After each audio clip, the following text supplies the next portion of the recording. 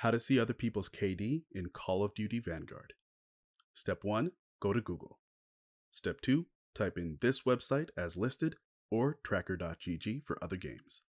Step 3 Type in the player's Activision name, gamertag, or PSN once you're on the site.